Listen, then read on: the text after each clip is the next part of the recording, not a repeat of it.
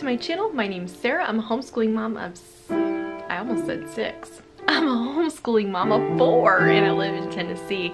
And today I'm just gonna take you along on our homeschool day. we'll see what happens. So we're gonna start out with history and go from there. So we have piano lessons later today and everything. So I'm just gonna take you guys along for the ride. Let's go. Rebecca's just been brushing up on a few of her old songs from when she used to take piano lessons. So she says she does not like the rigidity of taking lessons and having to practice every day, but she really likes just playing around, right? Yep. okay, good job. You ready to get history started? No. Oh, come on, it's my favorite subject. okay, you ready to get started, Hannah? History, you get to join us for this. We just finished up our science unit on mammals by The Good and the Beautiful. It was excellent. And you have biology, right? So you didn't need to do that with us. But now we're on to history, and The Good and the Beautiful does have ninth grade history extensions. So I have your notebook out right here, all ready for that. You ready? Okay, it's on Mesopotamia. I don't have a choice. You do not have a choice, you are right. The kids are out here brushing the cat. She's gotten quite friendly in her old age. It's interesting. She used to be one that never let you hardly pet her or anything and now she lets you hold her and almost like she ventures into the house. It's really funny. oh dear. This is Oreo. She is probably, I don't know, 16 years old. So she's been a good little cat. Meanwhile, Caleb's found the mud again. Oh my goodness sakes, y'all. Does anybody else's boys do this? I guess if you live in the country, you have mud, right? Oh my. He's having a blast. Just like a little piggy wallowing in the mud. okay, well, I guess we'll let him stay out here in the the drippy day. This is the tail end of hurricane or tropical storm Delta coming through Tennessee, so we've had a wet weekend. I've been working my way through the book, or the, well, the book of James, but the study manual, James, The Steadfast Life. This is by, um, let's see if it'll come up, The Daily Grace Co. they have so many great Bible studies, and a lot of times they'll have $5 sales um, where you can get their studies for just $5. So um, they make really great Christmas gifts and stuff. They're absolutely beautiful. So extremely aesthetically pleasing. And um, yeah, it goes all the way through the book of James, um, just verse by verse, and then you write out your thoughts such incredible insight. The people who write these are just, they're really gifted by the Holy Spirit to understand the Bible and the Word and um, really enjoying this study of, of James. And I have one of Ephesians as well. So anyway, I pair it with my um, She Reads Truth um, Christian Standard Bible. They have one in leather, which I almost wish that um, we would have just paid the extra and got the beautiful leather edition of this Bible, but I really like it. Um, the English Standard Version is just really simple to read and understand. Um, and it has so many fun extras in here. Lots of maps, and at the beginning of every chapter, um, it'll talk about like where they're coming from, um, who wrote the book. Um, I was just gonna see if I could find it for you guys. But yeah, it'll have a beautiful written verse. And then it tells you kind of the background and the timeline that Second Kings and you know all the chapters were written in. And then it'll have a map and then it'll also have a going deeper section um, in kind of like a reading plan for the book and um, parallel reading, sorry, parallel reading portions. So anyway, this has been just a beautiful Bible to read and I like to just read that along with um, my study. So anyway, all right, I guess she is tired of waiting around on us for history and you look like you're doing biology. Yeah. Okay. Well, I don't know where our other kids went, but I need to find them so we can get started. Because we're ready to read all about um, our story is If You Lived in Mesopotamia and chapter one on Mesopotamia. So anyway, we've already read our read aloud for this unit. Let me see if I can find that real quick. It was an excellent book and I'd, I'd like to recommend it to y'all. Well, I don't know. I looked around for it, but I didn't find it. If I come across it later, I'll show it to you. But the book is called Slave Boy in Judea, and I just thought it really um, um, depicted life back in that timeline really well and um, it was just a really good story all the kids enjoyed it and you know it was kind of one of those books where it was like read one more chapter read another chapter it's really good. So anyway yeah we really enjoyed it. Slave boy in judea. And it goes along with year three in the good and the beautiful history. Why do you think that mesopotamia was given the nickname cradle of civilization think of a cradle and tell me why you think that it might have that name. That's not. What do you think? I walked over there.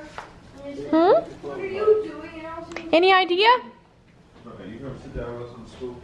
Kind of the birthplace? What does a cradle do? rocks back and forth. It does. What does a cradle have in it?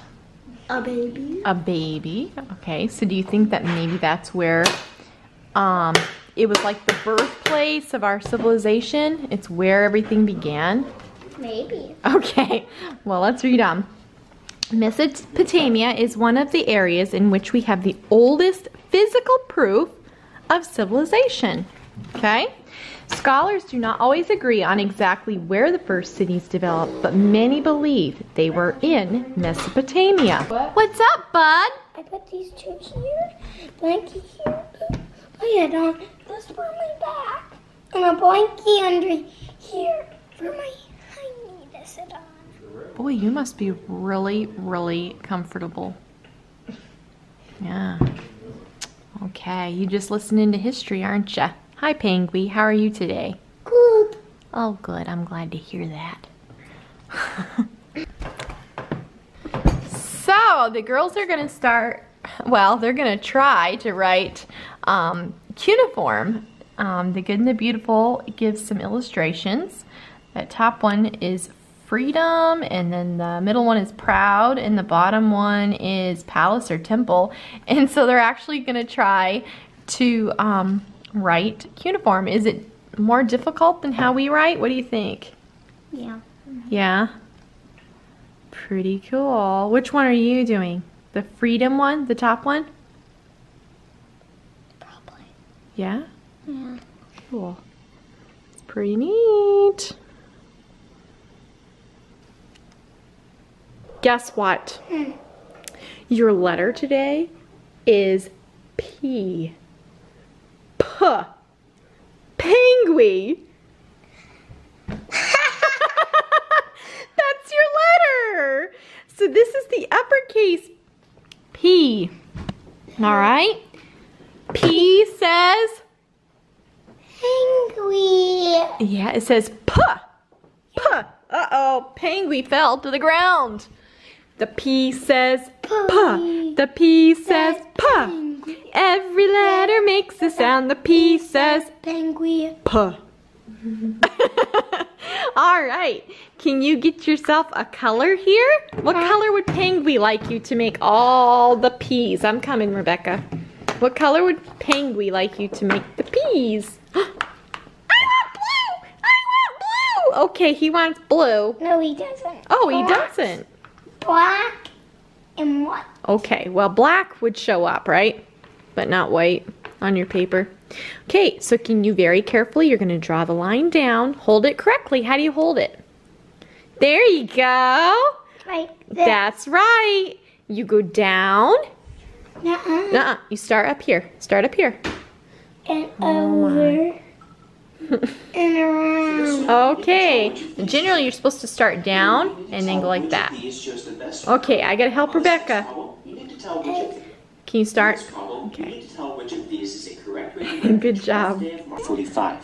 Okay, the 12th day of March. This is teaching textbooks math, grade 4.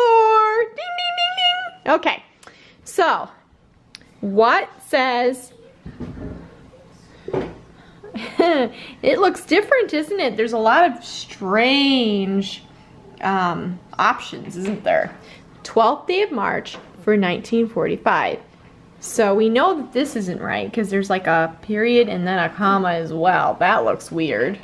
Mar 12th, that looks weird too, doesn't it? March 12th, that looks weird. Mar 12, 1945, what about that? Sounds good. Yeah. I wish I could do that. Ah, look how good you are. Oh, look what. November 7th for the year 2017. November 7. Whose birthday's on November 7? No. Hannah's. what does Penguin say? That's nice. Oh, he thought that you did a good job? He said Wow, what's this? that color because he wants his nose to look that color. Oh, he wants his nose yellow too. Okay. Because well- it's his, it's his letter. Okay, it's his color for Peepa Penguin. Very good. Yeah, where's the triangle? Okay, good. Now find the nickel and put it on the triangle. What one is the nickel? This one. No. What is that one? And what is that one? Okay, this one is a dime, remember? We have the dime, and that's 10. This is the nickel. Yes, that one is five. And this is the penny, right? Okay. Now you're going to need to put the penny on the oval. So where's the penny and the oval? That's right, penny. And where's the oval? Good job. Now you need to put the dime on the square. Yeah. Very good. Okay, what are you studying now, Hannah? Health. Health, okay. Mm-hmm. what are you learning? Good muscle tone and posture. Okay. So how do we get good you're fine. how do we get good muscle tone and posture? Through exercise. Through exercise. Interesting. Hmm. Here, you need to Did you hear her thing? Are you sure you're not a grown up? Rebecca's math. Can I show your name? So this is ACE Paces, and I think she's on the second book now. No, And um, it just gives her a section to read, and then she has to um, fill Sorry in the blanks and stuff. handwriting. Your handwriting looks fine. Fill in the blanks with the, the correct writing and stuff Mama, and Mama, answers. Mama. So, um, yeah, it's a good. Whoops, careful. Mama, Wait, what? this is how much fingers it takes to hold this. It does. Okay. Wow. These Great. So, um, yeah, she just goes through here and does several pages a day, and I think there's six booklets in this course um, for her ninth grade health. Okay, we're ready for our next game. Where are the pets hidden? Which one are you gonna guess first? This one. Okay, what letter is that? I don't know. Oh my. J, G, G, Good. G, G, G. Okay, lift it up. You found one! It's the kitty! Okay, so we oh, got I that. got That was really good. Okay, what's the next one that you want to pick? Okay, what letter is that? What letter is it? I don't know. M, M, M, M. What, what letter is it? Um, M. What does M say? M. Okay, pick it up. See if there's something under it. Uh-oh, nothing under it. Okay, go to the next one. I'm trying to. What letter was it? Um, N. N. N. N. Good job. Okay, what are you doing now? I don't remember. You don't know what you're doing? Sagacious. Is it called typing? what are these words that you're doing? what are you doing now? All right, you're in unit three of high school two and learning some interesting words, huh? Anomaly, Allude. sagacious, quick of thought or discernment, wise or shrewd. People often consulted the village elders for their sagacious advice. Shrewd advice. okay. In all the letters, you have, and I'm supposed to find them? Okay, I'll find them, but you have to tell me what the letter says, okay? All right, I'm gonna guess this one. What is the letter? You have to say the letter. No, I know the letters. So in order for me to guess it, you gotta say what the letter is. Come here. Okay. Ah, What is this one? I don't know. Uh, uh, uh. M. M. M. M. Monkey. All right, let me see. ah! I found it. It's the turtle. Woo! But did you know this with this? I didn't know it had it in there. Okay, I'm gonna pick this one. What is this letter? I don't know. D. D- D. D. donut. Donut. Oh, nothing under. Okay, I'm gonna pick this one. What's this letter? Because you get to circle a letter that goes with the picture. So what is this? What is this thing? Um, That's not a monkey. Oh, right there is. You're right. What is this? I thought you were saying that. What's this one? A pig. Okay. Pig. What does pig say? Or what is the letter? Pig. Which one of these? That's right. P. P. Pig. I can see another pig. Yeah. Yeah. So what was this one? M- monkey. Okay, where's the m? m? B- b- monkey. Where's an M? Oh. There you go. M and N are very close. One has two humps and one has only one. All right, you got to pick your sticker for your typing lesson. This is um, the Good and the Beautiful, and she is doing typing one. So we just did. She to put a sticker when she's completed a page. So Mama, look. it's pretty fun. All right, you ready to pull out the next stuff? Mama. Oh, handwriting. Handwriting. Like a gross. Yeah, you're right. So the plants need dirt and water and sun and seeds to grow. yep. And so this is the Good and the Beautiful um, pre-K handwriting. It just gets them um, knowing how to trace lines and um, follow directions and plus they get to color trees and all the little pictures along the way. So Rebecca is working on her handwriting and she's learning cursive. Rebecca's writing in her little book. It's called um, Explode the Code, right? Yeah, Explode the Po- Code Level 4. And it's just a fun little um, kind of phonics sort of workbook. This um, right now is dealing with all kinds of um, compound words, right? Now, what do you need at the end of this to make the O say O? E. That's right. So we've got um, we've got flagpole, pig pen, bathtub, cupcake, wash tub, and we have sand. Thanks, To Caleb. my strawberry. Sand box. what do you think that this needs to be instead of an A? Ox. Oh. There you go. Sandbox. And the page she's working on now is adding um, suffixes to the end of a root word. So things like stillness, blackest. What's this word? Pinching. Pinching. That's right.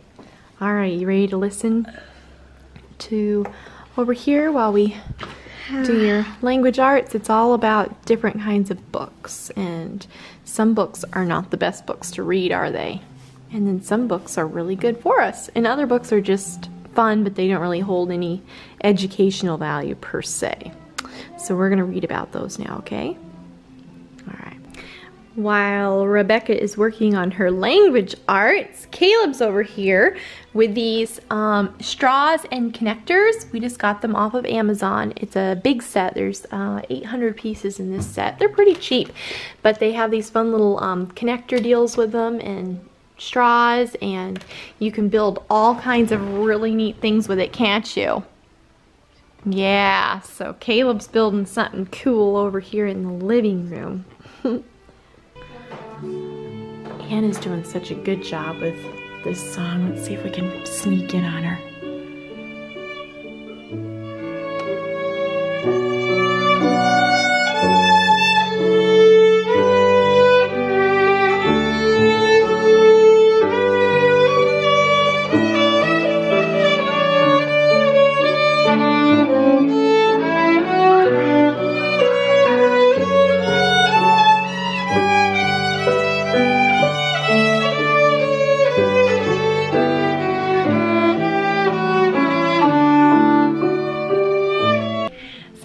Practicing her violin for her lesson later today, and one of the songs she's practicing is by the Petersens, which uh, you can listen to on YouTube or Spotify. Anyway, we really like their music. It's kind of bluegrassy.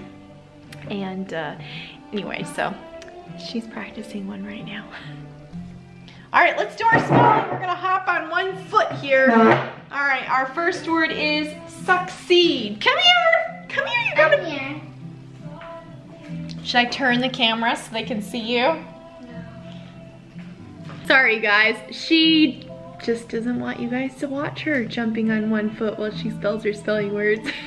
but that's what we're gonna do, so. All right, so while the kids are building cool straw features, we are going to um, read Mr. Apple's Family. Really cute book here. It's actually also from The Good, The Beautiful. We really like The Good and the Beautiful, if you can't tell. They just have a lot of really um, good quality um, material. So anyway, that's what we're gonna do now. So the Apple children were named for real apples. Mrs. Apple did not like the idea of having of Mr. Apples very much. Macintosh is just too big a name for a tiny baby, said Mrs. Apple. He will not be a tiny baby long, said Mr. Apple. We'll call him Mac for short. So here's Mr. Apple, and here's little baby Macintosh. See him? Mrs. Apple saw that Mr. Apple very much wanted to call the baby Macintosh. Very well, said Mrs. Apple. We'll call him Mac. She knew she could not have her own way all the time. Mr. Apple must sometimes have what he wanted, so when the second little apple came, he was named Jonathan. He was called John for short. Mrs. Apple got used to the idea of Macintosh and Jonathan for her two boys. She even boasted a little to the neighbors. Here's Mrs. Macintosh, or Mrs. Mrs. Apple. See, and there's little Jonathan and Macintosh. Mr. Apple's very clever, Mrs. Apple would say. He has such fine ideas. No one but a man as clever as Mr. Apple would have thought of naming his children for real apples. And then the first little girl came along. It was much harder for Mr. Apple to think of an apple name for a little girl. If she had been a boy, said Mr. Apple, I could have named her Spitzenberg, and she could have been Spitz for short. Well, she's not a boy, and she cannot be named Spitzenberg, said Mrs. Apple. A little girl should have a pretty girl, pretty name, and she cannot be called Spitz. How would delicious be? asked Mr. Apple. There's a fine apple named oh, Delicious. What am I doing? Delicious is a beautiful name, said Mrs. Apple happily. I think we'll call her Del Delio for short. What have you made? A chair. Look at that! You certainly have. Can you sit in it?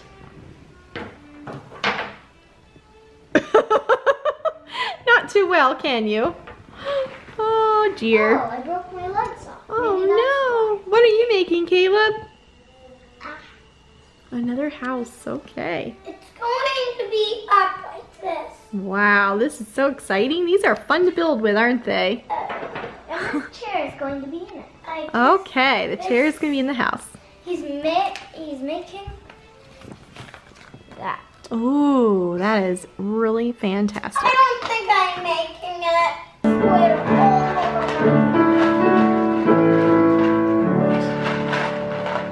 That's a pretty cool house.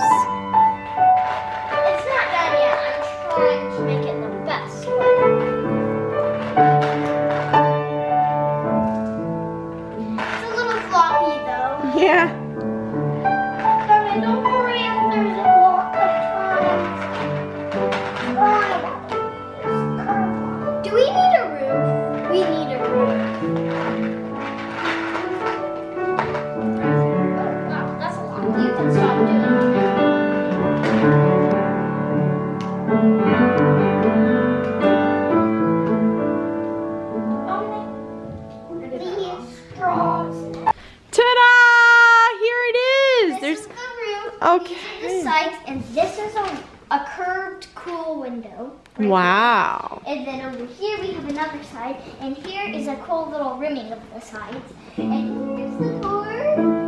Oh, I can't get it. and then here's a chair. Give me that stuffed animal. Nice. And only Stuffy can sit on the chair. Wow. That is a pretty cool little house. I like it. But I got penguin. So that's kind of our morning school routine in a nutshell. Nathan is um, working with Mike this morning, so I don't have him for school. But most of what he does is online or on the computer, and I'll help him when he gets home later today. So he does a lot of like easy peasy and teaching textbooks, and I try to get him in on like our science and stuff like that. So anyway, that's what he's doing. Um, I was just looking. Um, they just released the new and updated level four of the Good and the Beautiful Language Arts, and I so wish that it had been released earlier in the year because um, it really looks good. So if you guys are thinking about um, the Good and the Beautiful, and you have somebody that's in level four or whatever, it I don't know. I'm it looks so good. I'm almost tempted to get it except that it's I don't know. I mean I could print it out myself for free because it is free on their website. But it's like I think $70 or something to actually buy it. So I'm not really wanting to do that since we're already like at less than 25 I think. But anyway um definitely would recommend looking into that if you have somebody in that level. I was also looking at some of their new releases and things that are coming out and uh, they just have so many good things. I think we'll do like geology and arthropods for science next year. They look like really fun units and they're coming out with lots of new things for like my youngest son's age and um, little activities to go along with us while we're studying. So that's really fun. But anyway, it seemed like there was something else I was going to say. Oh, they are releasing level 5, the updated version of level 5, um, in the summer, next summer. So it should be done then by the time we would need it. So that'd be really good. We'll just do that. But anyway, I'm gonna finally get to my little Bible study and then it's time for lunch and then we head off for music lessons.